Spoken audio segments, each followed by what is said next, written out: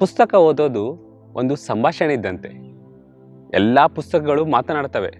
ಕೆಲವೊಂದು ಪುಸ್ತಕ ನಿಮ್ಮನ್ನು ಆಲಿಸ್ತದೆ ಕೂಡ. ದೇಶ ಸುತ್ತೋ ಕೋಶ ಓದೋ ಚಾನೆಲ್ಗೆ ಸುಸ್ವಾಗತ. ಇವತ್ತು ನಾನು ಎಸ್ ಎಲ್ ಭೈರಪ್ಪನವರ ಸಾರ್ಥ ಕಾದಂಬರಿ ಬಗ್ಗೆ ನನ್ನ ಅಭಿಪ್ರಾಯ ಹೇಳೋಕೆ ಇಷ್ಟಪಡ್ತೀನಿ. ಪದ್ಮಶ್ರೀ, ಪದ್ಮಭೂಷಣ, ಸರಸ್ವತಿ ಸಮ್ಮಾನ ಒಳಗೊಂಡಂತೆ ಹಲವಾರು ಪ್ರಶಸ್ತಿ ಪುರಸ್ಕೃತ ಎಸ್ ಎಲ್ ಭೈರಪ್ಪನವರು ಕನ್ನಡ ಸಾಹಿತ್ಯ ಲೋಕದಲ್ಲಿ ಒಬ್ಬ ದೈತ್ಯರಂತ ಹೇಳಬಹುದು. ಇಂಗ್ಲಿಷ್ನಲ್ಲಿ ಒಂದು ಮಾತಿದೆ on the shoulders of giants ಅಂತ. ಅದರರ್ಥ ಮೇಧಾವಿ ದೈತ್ಯರ ಹೆಗಲ ಮೇಲೆ ನಿಂತರೆ ತುಂಬ ದೂರದವರೆಗೂ ಭೌತಿಕವಾಗಿಯೂ ಬೌದ್ಧಿಕವಾಗಿಯೂ ನೋಡಬಹುದು. ಇನ್ನು ಪುಸ್ತಕದ ಬಗ್ಗೆ ಹೇಳಬೇಕಂದ್ರೆ, ಪುಸ್ತಕದ ಪ್ರಕಾಶಕರು ಸಾಹಿತ್ಯ ಭಂಡಾರ.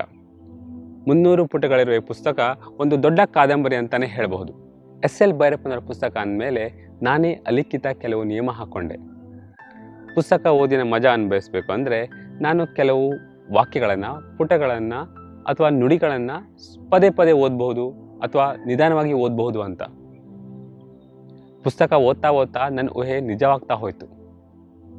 ಇನ್ನು ಪುಸ್ತಕದ ಕಥಾವಸ್ತು ಹೇಳಬೇಕಂದ್ರೆ, ಈ ಪುಸ್ತಕ ಎಂಟನೇ ಶತಮಾನದಲ್ಲಿ ನಡೆದಿರುವಂತೆ ಕಲ್ಪಿಸಲಾದ ಒಂದು ಕತೆ. ಕಥೆಯ ನಾಯಕ ನಾಗಭಟ್ಟ. ಅವನು ಮಹಿಷ್ಮತಿಯ ರಾಜ ಅಮರುಕನ ಗೆಳೆಯ. ನಾಗಭಟ್ಟನಿಗೆ ಬಾಲ್ಯದಿಂದಲೂ ದೇಶ ವಿದೇಶ ಸುತ್ತೋ ಕನಸು. ಅವನು ಕನಸನ್ನು ನನಸು ಮಾಡೋಕ್ಕೆ ಆಯ್ದುಕೊಂಡಿರೋ ಒಂದು ಮಾಧ್ಯಮ ಅಂದರೆ ಅದು ಸಾರ್ಥ. ಪುಸ್ತಕ ಓದೋ ಮೊದಲೇ ನನಗೆ ಸಾರ್ಥ ಅನ್ನೋ ಪದದ ಬಗ್ಗೆ ಅರ್ಥ ಗೊತ್ತಿರಲಿಲ್ಲ. ಆನೆ, ಕುದುರೆ, ಹೆಸರುಗತ್ತೆ ನೂರಾರು ಗಾಡಿಗಳಲ್ಲಿ ವಾಣಿಜ್ಯ ಪದಾರ್ಥಗಳನ್ನು ತುಂಬಿಕೊಂಡು ದೇಶಾಂತರ ಸಂಚರಿಸುತ್ತಾ ವ್ಯಾಪಾರ ಮಾಡೋದನ್ನು ಆ ಕಾಲದಲ್ಲಿ ಸಾರ್ಥ ಅನ್ನುತ್ತಿದ್ದರು. ಸಾರ್ಥದಲ್ಲಿ ಬರೀ ವ್ಯಾಪಾರಿಗಳಷ್ಟೇ ಅಲ್ಲ, ವಿದ್ಯಾರ್ಥಿಗಳು ಪ್ರವಾಸಿಗರು, ತೀರ್ಥಯಾತ್ರಿಕರು, ನಟ, ನಟಿ, ಗಾಯಕ, ವಾದಕ, ಡೊಂಬರಾಟ ನಡೆಸುವಂಥ ಅಲೆಮಾರಿ ಪ್ರವೃತ್ತಿಯವರು, ಧರ್ಮ ಪ್ರಚಾರಕರು, ಸನ್ಯಾಸಿಗಳು ಕೂಡ ಇರ್ತಿದ್ರು. ಸಾರ್ಥಕ್ಕೆ ಪೂರಕವಾಗುವಂತೆ ಬಡಗಿಗಳು, ಕಮ್ಮಾರರು, ಆನೆ, ಕುದುರೆನ ನೋಡ್ಕೊಳ್ಳೋರು, ಅಡಿಗೆ ಭಟ್ರು ಕೂಡ ಇರ್ತಿದ್ರು. ಇಷ್ಟೆಲ್ಲ ಇದ್ಮೇಲೆ ಕಳ್ಳಕಾಕರ, ದರೋಡೆಕೋರರ ಭಯ ಇದೇ ಇರತ್ತೆ ಅಲ್ವಾ? ರಕ್ಷಣಾ ಭಟರು ಮತ್ತು ಅಲ್ಲಿರೋ ಕೆಲವರು ಶಸ್ತ್ರಾಸ್ತ್ರ ವಿಧಿಗಳನ್ನು ಕೂಡ ಕಲ್ತಿದ್ರು. ಮಾಹಿಷ್ಮತಿಗೆ ಬರುವ ಸಾರ್ಥವನ್ನ ಗೊತ್ತು ಮಾಡಿಕೊಂಡ ನಾಗಭಟ್ಟ ಸಾರ್ಥದ ಜೊತೆಗೆ ದೇಶಾಂತರ ಸುತ್ತುತ್ತಾ ಮಥುರೆಗೆ ತಲುಪ್ತಾನೆ. ಮಥುರೆಯಲ್ಲಿ ಬೌದ್ಧರ ಸಾಂಗತ್ಯದಲ್ಲಿ ವಿಹಾರದಲ್ಲಿ ಸ್ವಲ್ಪ ಕಾಲ ಕಳೀತಾನೆ. ಅಲ್ಲಿ ಬರುವಂತ ಒಬ್ಬ ನಾಟಕ ತಂಡದವರ ಪರಿಚಯ ಆಗ್ತದೆ. ಅವರಿಂದ ಪ್ರೇರಿತಗೊಂಡು ನಾಟಕ ಕಲಿತಾನೆ, ನಾಟಕದಲ್ಲಿ ಪ್ರಸಿದ್ಧ ಕೂಡ ಆಗ್ತಾನೆ. ನಾಟಕದಲ್ಲಿ ನಟಿಯಾದ ಚಂದ್ರಿಕೆಯ ಜೊತೆ ಪ್ರೇಮ ಕೂಡ ಬೆಳೀತದೆ. ತದನಂತರ ನಾಗಭಟ್ಟ ಭರತಖಂಡದ ಪುರಾತನ ನಗರಗಳಾದ ಗಯಾ, ಪ್ರಯಾಗ, ಪಾಟಲಿಪುತ್ರ, ತಾರಾವತಿ ಒಳಗೊಂಡಂತೆ ಹಲವಾರು ಪಟ್ಟಣಗಳನ್ನು ಗುರಿ ಇಲ್ಲದೆ ಅಲಿತಾನೆ. ಹಿಂದೆ ಗುರು ಇಲ್ಲದೆ ಮುಂದೆ ಗುರಿಯೂ ಇಲ್ಲದೆ ಅಲಿಯುತ್ತಿರುವ ನಾಗಭಟ್ಟನಿಗೆ ಅವನ ಪ್ರಯಾಣದ ಪ್ರತಿಯೊಂದು ಹಂತದಲ್ಲೂ ಒಬ್ಬ ಗುರು ಸಿಗ್ತಾ ಹೋಗ್ತಾನೆ, ಅವನಿಗೆ ಗುರಿ ಮತ್ತು ಮಾರ್ಗದರ್ಶನ ನೀಡ್ತಾ ಹೋಗ್ತಾರೆ ಕಾದಂಬರಿಯುದ್ದಕ್ಕೂ ನಾಗಭಟ್ಟ ಇತಿಹಾಸ ಪ್ರಸಿದ್ಧ ವ್ಯಕ್ತಿಗಳನ್ನು ಭೇಟಿಯಾಗ್ತಾನೆ. ಅಥವಾ ಘಟನೆಗಳನ್ನು ಸಾಕ್ಷೀಕರಿಸ್ತಾನೆ.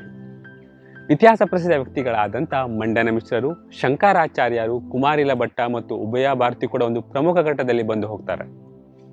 ಅದರಲ್ಲೂ ಮಂಡನ ಮಿಶ್ರ ಮತ್ತು ಶಂಕರಾಚಾರ್ಯರ ನಡುವಿನ ವಾಗ್ವಾದ ಏನಿದೆಯಲ್ಲ, ತುಂಬ ತೀಕ್ಷ್ಣವಾಗಿ ಮತ್ತು ಪ್ರಚಂಡವಾಗಿ ವಿವರಿಸಿದ್ದಾರೆ.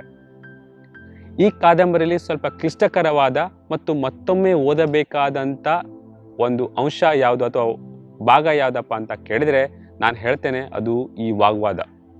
ಮುಂದೆ ಒಂದು ಸನ್ನಿವೇಶದಲ್ಲಿ ನಾಗಭಟ್ಟ ಅರಬ್ದಿಂದ ಬಂದಂಥ ಮ್ಲೇಚ್ಛರ ಜೊತೆ ಧರ್ಮದ ಬಗ್ಗೆ ಒಂದು ವಾದ ನಡೆಸ್ತಾನೆ. ಆ ವಾದ ನನಗೆ ತುಂಬ ಖುಷಿ ಅನಿಸ್ತು, ಮತ್ತು ಸಮಂಜಸ ಅನಿಸ್ತು. ಕಾದಂಬರಿಯುದ್ದಕ್ಕೂ ಹಲವಾರು ಕಡೆ ರೋಚಕ ತಿರುವುಗಳಿವೆ. ಕಾದಂಬರಿ ಓದುವ ಆರಂಭದಿಂದ ಅಂತ್ಯದವರೆಗೂ ಮಸ್ತಕಕ್ಕೆ ಕೆಲಸವೋ ಕೆಲಸ. ಮನುಷ್ಯನ ನವರಸ ಭಾವಗಳಲ್ಲಿ ಎಲ್ಲವನ್ನು ಕೂಡ ಸ್ಪರ್ಶ ಮಾಡ್ತದೆ. ಮನುಷ್ಯನ ಅರಿಷಡ್ವರ್ಗಗಳಾದ ಕಾಮ, ಕ್ರೋಧ, ಲೋಭ, ಮೋಹ, ಮದ, ಮಾತ್ಸರ್ಯಗಳ ಜೊತೆಗೆ ನಿಷ್ಕಲ್ಮಶ, ಪ್ರೇಮ, ಗುರುಭಕ್ತಿ, ನೈತಿಕತೆ, ಪ್ರಾಯಶ್ಚಿತ ಬಗ್ಗೆ ಚೆನ್ನಾಗಿ ಮಾತಾಡ್ತದೆ. ಇದು ನಾಗಭಟ್ಟನ ಪ್ರವಾಸ ಕಥನ ಪ್ರೇಮ ಕಥೆಯುಳ್ಳ ಒಂದು ರೋಚಕ ಕಾದಂಬರಿ ಅಷ್ಟೇನಾ? ಖಂಡಿತವಾಗಿಯೂ ಅಲ್ಲ. ಹಿಂದೂ ಧರ್ಮದ ಹಲವು ಮಜಲುಗಳಾದ ನ್ಯಾಯ, ಧರ್ಮ, ತಂತ್ರ, ಮಂತ್ರ, ಯೋಗ, ಜ್ಞಾನ, ಕರ್ಮಕಾಂಡ, ನೈತಿಕತೆ, ನಾಸ್ತಿಕತೆ, ಆಸ್ತಿಕತೆ ಬಗ್ಗೆ ಒಂದು ದೃಷ್ಟಿಕೋನವನ್ನು ವಿವರಿಸಿದ್ದಾರೆ. ಹಿಂದೂ ಮತ್ತು ಬೌದ್ಧ ಧರ್ಮಗಳ ನಡುವೆ ಇರುವ ಘರ್ಷಣೆ ಬಗ್ಗೆ ನಳಂದ ವಿಶ್ವವಿದ್ಯಾನಿಲಯದಲ್ಲಿ ನಡೆಯುವಂಥ ಅಧ್ಯಯನದ ಬಗ್ಗೆ ಒಂದು ದೃಷ್ಟಿಕೋನ ಸಿಗ್ತದೆ. ಪುಸ್ತಕ ಓದೋ ಖುಷಿ ಮತ್ತು ಕಾದಂಬರಿಯ ರೋಮಾಂಚಕತೆ ಜೊತೆಗೆ ಇನ್ನೇನಪ್ಪ ಸಿಕ್ತು ಅಂತ ಕೇಳಿದರೆ ನಾನು ಹೇಳ್ತೇನೆ ಸಾಂಪ್ರದಾಯಿಕವಾಗಿ ಇತಿಹಾಸಕಾರರು ತಿಳಿಸದೇ ಇರುವಂಥ ಅಥವಾ ಶಾಲಾ ಕಾಲೇಜುಗಳ ಪಠ್ಯಗಳಲ್ಲಿ ಇರದೇ ಇರುವಂಥ ಕೆಲವು ವಿಷಯಗಳನ್ನು ಇಲ್ಲಿ ಉಲ್ಲೇಖ ಮಾಡಿದ್ದಾರೆ. ಎಂಟನೇ ಶತಮಾನದಲ್ಲಿ ಭರತಖಂಡದಲ್ಲಿ ಇರಬಹುದಾಗಿದ್ದಂಥ ಸಾಮಾಜಿಕ, ಧಾರ್ಮಿಕ ಮತ್ತು ಸಾಂಸ್ಕೃತಿಕ ಘಟನೆಗಳ ಬಗ್ಗೆ ಒಂದು ದೃಷ್ಟಿಕೋನ ಸಿಗ್ತದೆ. ನಿಮಗೆ ಪುಸ್ತಕ ಓದಿನ ಮಜಾ, ಕಾದಂಬರಿಯ ರೋಚಕತೆ ಹಾಗೂ ಕೆಲವು ಗಂಭೀರ ವಿಷಯಗಳ ಬಗ್ಗೆ ತಿಳಿಬೇಕಂದ್ರೆ ಈ ಕಾದಂಬರಿಯನ್ನು ಖಂಡಿತವಾಗಿ ಓದಬಹುದು. ಎಸ್ ಎಲ್ ಭೈರಪ್ಪನವರ ಸಾರ್ಥ ಕಾದಂಬರಿಯನ್ನು ವಿವರಣೆಯಲ್ಲಿ ಕೊಟ್ಟಿರುವ ಕೊಂಡಿಗಳ ಮುಖಾಂತರ ಕೊಂಡುಕೊಳ್ಳಬಹುದು. ಈ ವಿಡಿಯೋ ಇಷ್ಟ ಆದರೆ ಲೈಕ್ ಮಾಡಿ, ಶೇರ್ ಮಾಡಿ, ಕಮೆಂಟ್ ಮಾಡಿ.